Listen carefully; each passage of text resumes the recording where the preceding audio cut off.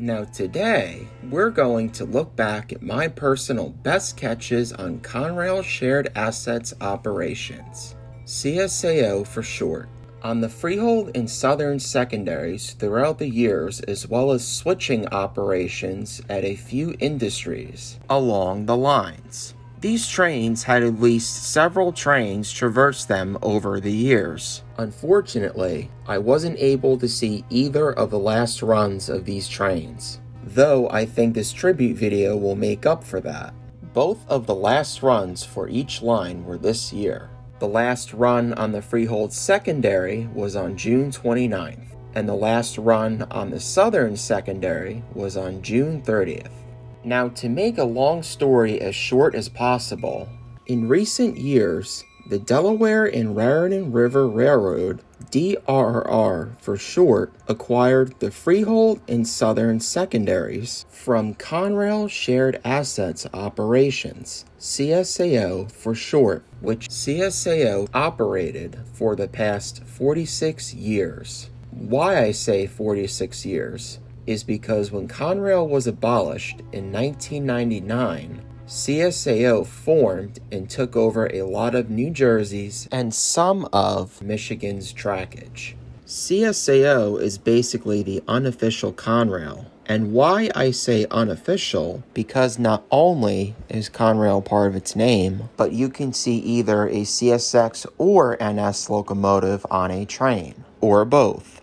Now, DRRR is a sub railroad of the parent railroad, Chesapeake and Delaware.